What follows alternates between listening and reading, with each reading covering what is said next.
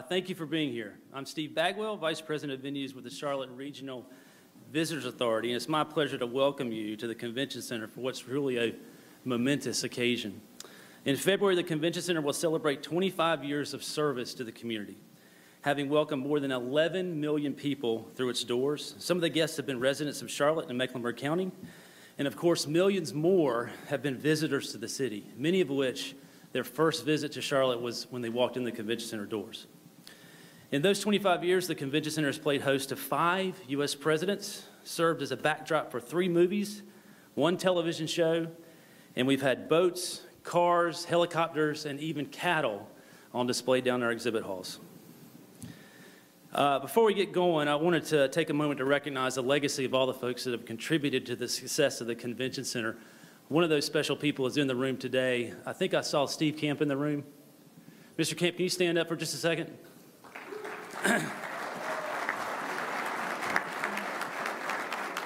Steve Camp was managing director of the Coliseum Authority from 1987 to 1997, and this building was constructed under his watch. We thank you and all the team members that have made this a special place to work all these years for your service. Thank you, Steve.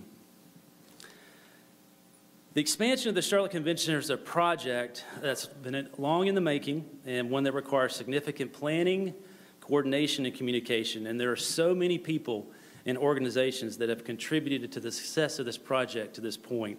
Uh, I'd like to recognize them as we embark on this two-year-long construction project. Uh, when I call your name out, if you would, just give a quick wave so folks in the room uh, know who you are. Uh, from the City of Charlotte General Services team, uh, this is a city building, and the project is being run by the city. This team is responsible for that execution, and they're amazing partners. Uh, that team's led by Angela Lee. Manifa Woodside is our project manager. She has been an amazing leader on this project. Manifa, thank you for your leadership and all that you've done. Mike Davis, William Haas, Kristen Belkey, all with General Services team, thank you so much for all you've done to make this project successful. Moving over to the design side, uh, amazing collection of talent that have helped design this project, this expansion. Uh, traveling down from Atlanta this morning, the TVS team, Andy McLean, thank you for being here. Jay Thompson, Lee Gow, amazing work. Trisha Moore on the interiors, thank you for all you've done. LS3P Associates, another amazing team with Chris Ions, David Loy, Paul Koska, thank you for all you're doing. Neighboring Concepts, also very important team members with Daryl Williams and Daryl McNamee. Thank you for all you've done on this project. Moving over to the construction side, an amazing joint partnership between three great firms, Holder, Edison Foard, and Leeper, uh, these guys have been amazing problem solvers. Inevitably, on projects like this, you run into challenges, and they've done an amazing job solving them.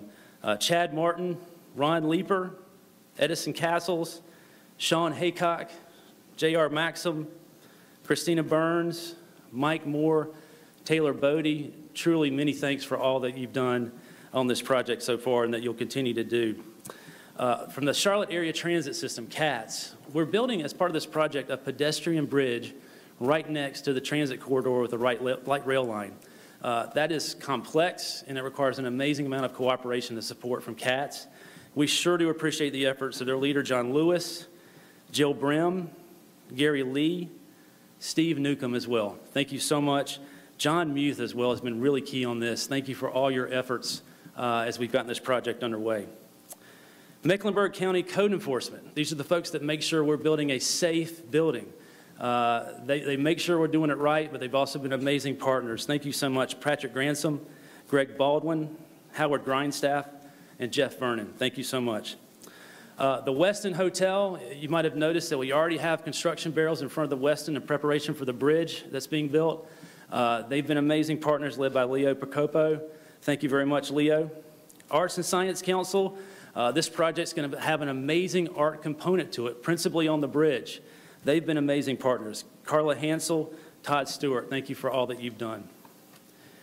And then last, but certainly not least, uh, members of the CRVA team. There, there's too many to, to name in this proceeding, uh, but I did want to highlight some, some really key players. Doug Tober, who's managing the affairs of the CRVA on this project, has done amazing work. Thank you, Doug, for all that you've done.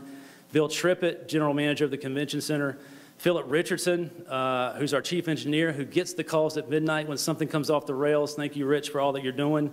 Uh, From the marketing team, Laura White has been an amazing partner, and Karen Brand uh, from the communications team planned the proceedings today. Thank you, Karen, for all that you're doing. So, we are proud to ceremoniously get this project underway today, and I say ceremoniously because you might have noticed we've already begun a lot of work. We've begun steel uh, reinforcement of the truss system in the exhibit halls, and the structural work for the pedestrian bridge on the south side of Stonewall Street is already underway. In January, the team will move to the north side of Stonewall to begin structural work on the bridge. And in March, you'll begin to see that new structure being added to the roofline of the convention center, and that's when it's really going to be exciting to see the project come up uh, from the roof of the center. All this is leading up to final inspections in the summer of 2021, and we anticipate opening later in the summer that year when our very first customers that have contracted to use the new space will come to Charlotte, and we're going to be ready to welcome them. So, uh, finally, I want to uh, bring up our next speaker. Uh, we are privileged at the CRVA to have a visionary leader, leader who has championed this project from the very beginning. Uh, Tom has also been an amazing problem solver. I don't think we've gotten this done without his great support. Please help me welcome Tom Murray, Chief Executive Officer of the Charlotte Regional Visitors Authority. Thank you.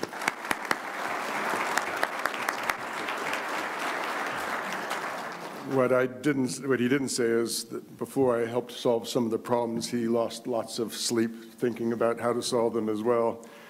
Um, when we do things like this, the one thing that is in common with our, our achievements are that we do these things together with lots of people, not just the ones that we work with every day, but the city and all the partners that, that Steve acknowledged. And I also want to thank my team at the CRVA um, for their work. Um, but most of all, I want to thank the mayor for her unwavering support for the hospitality industry. When the hospitality industry is trying to do big things, she's always been there and supportive, and, and we're really grateful. She understands, unlike anyone else, that the power of the hospitality industry and the one in nine jobs in our community that it supports. And how important our success is. I also want to thank the City Council, who also understands that and um, gave us a 10 to 1 vote in support of this funding, and uh, we couldn't have done without them. So I wouldn't, would really appreciate if you would stand up so we could thank you.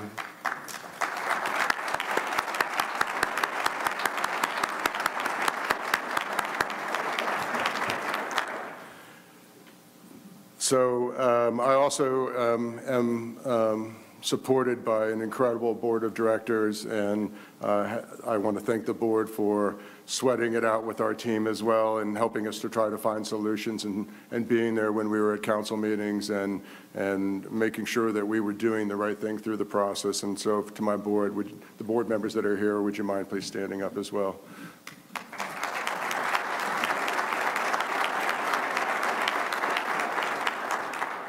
The hoteliers in this community have been our partners in this, and um, they've been strong advocates for it and, and for all the success we've had as a visitor economy. Last year, our, our county celebrated $7.4 billion in economic impact from the visitors that come to our city, and it's an incredible um, teamwork that makes that happen. The Visitor Authority acts as, a, as, an advocate and runs some of the facilities, but much of the work happens in our restaurants and our hotels, our bars, and our um, entertainment um, facilities, and we're really grateful for their, for their, support. Being out for construction or being slowed during the construction period um, um, is, is, has an impact on their, uh, on their teams and on their performance as well, and we're incredibly grateful for their partnership in, in working through this construction period. We did this expansion because we've been really thoughtful about listening to our customers. We've been doing great research to make sure that we understand um, what, what, will make us competitive um, in this um, very competitive uh, convention environment. We also are keenly aware of what our customers' changing needs are and how they've evolved um, since this convention center was booked 25 years ago. And as I say, it's an incredibly competitive landscape, and infrastructure is being built all over the country, particularly in the cities that we compete with um, the most, like Austin and Nashville and, and uh, other cities that have been making investments in this kind of infrastructure. So we, we committed to doing great research to make sure this decision was based on sound reasoning and sound evidence, and we're really pleased that, um, that um, we think we're building something that is going to allow us to continue to compete into the next 25 years of the convention center. I would also say that um, we are keeping, in keeping Charlotte um, competitive, um, it aligns with our, our vision for our organization. We aspire to be one of the most sought-after cities um, and destinations in the southeast. We aspire to invest in infrastructure that supports tourism industry and will make us better. Um, we, we, um, we also want to make a positive impact on tourism, on, on the local economy and the jobs that I just talked about, the one in nine people in our community that work in this industry. But we also know that what we does impacts our community and the people who live in it. And we're, we're pleased with the projects that we have partnered with on the city, including the construction of the connector facility between Bojangles and Ovens that is now underway, that will help making our community better for its citizens as well. Um, the expansion's already making a big difference. Um, several groups that couldn't have booked in our facility have now um, committed to holding their large conventions in our facility. We have a greater volume of booking and booking pace than we have ever had for our convention center. So all that research that we did has paid off and showed that um, this additional facility was really needed. Now, all we have to do is build it on time for their arrival, and um, we have a great team to make sure that that happens. And the quality of our events is getting bigger, and more and more folks want to come to Charlotte because of the success that Charlotte is, is, um, is benefiting from. So this is all great news for Charlotte, and, um, and as I said before, there's been no bigger supporter of the tourism industry and the work that we're doing at the CRVA than our mayor of our city, and um, I welcome Mayor Vi Lyles to say a few words.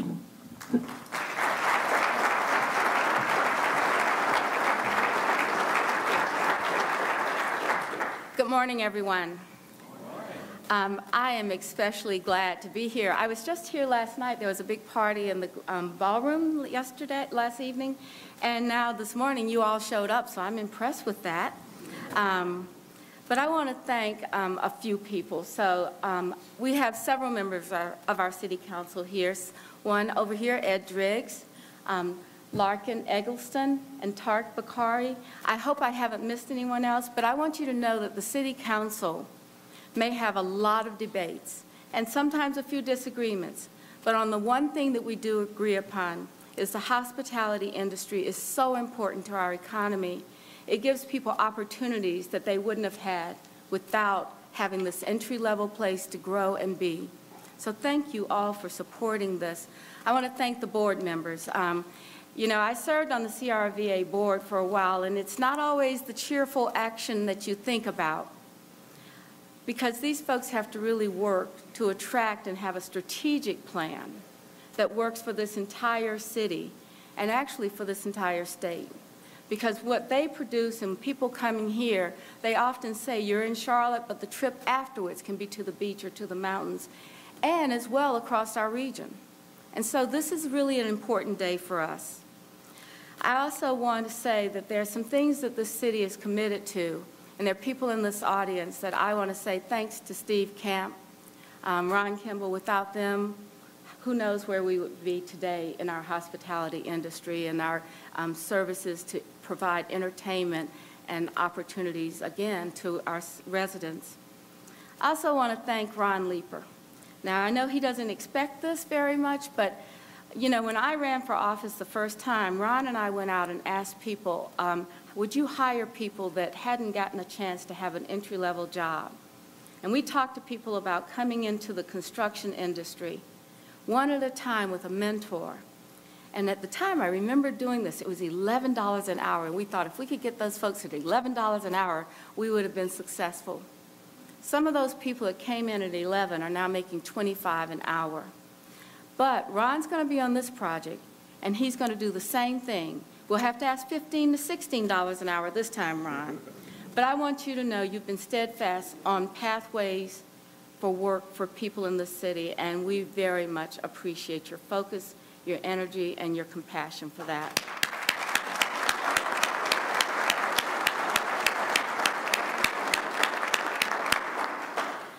So this is a big step for us. It's going to be a little bit more disruption downtown. I've started actually reading the closed street memos that they send us, because one day I was coming down on Stonewall and I was like, oh my God, I'm never going to get out of this traffic right now. And there was a big hole in the street, but there were people digging it with walls appropriately. No OSHA complaints for us.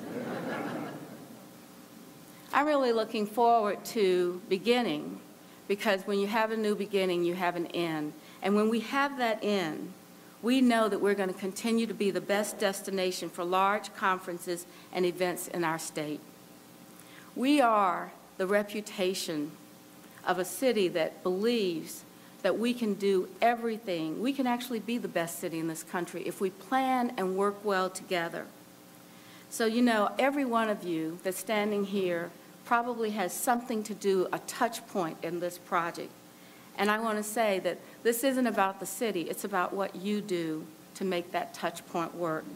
So all of us can look forward to a great completion as we begin this year. And I don't want to say how long it's been, but I think I actually worked with a few people on the beginning of this um, convention center 25 years ago. But you know, those 25 years have treated us all so well. As you know, we knew that we could have this convention center in our center city. And we knew that it would grow. I remember the, you know, plans for the train to come through and how important that was, and people just didn't think we could do it. I do remember the times that the floor shook because the Mary Kay ladies were doing the bunny hop all at one time. But all of those were small things that really exhibited our success. And so what I want you to know is that 25 years ago we started something and we're still on that path of success. We've seen the impact. We've hit high numbers for the last several years, 700, 7 million hotel room stays annually, hotel revenue of $800 million, over 63 million in our occupancy tax revenues. And with this expansion, who knows where that can go? You know, it's They've given me some words. They've said, this is a renovation. Well, you know, for me, we're not renovating. We're moving ahead. And it's always about new. It's about bringing a convention district with our Gateway project and our entertainment district. All of this is going to be so that we can have more meetings, more trade shows, more sporting events, and gatherings of all kinds, including the Republican National Convention. So I'm excited to be here today but more importantly, I'm really glad to be able to say thank you to each and every one of you that made this possible. We're going places, guys. We're going someplace because we are going to be the best city in this country, and you're all going to make that difference happen. Thank you so much.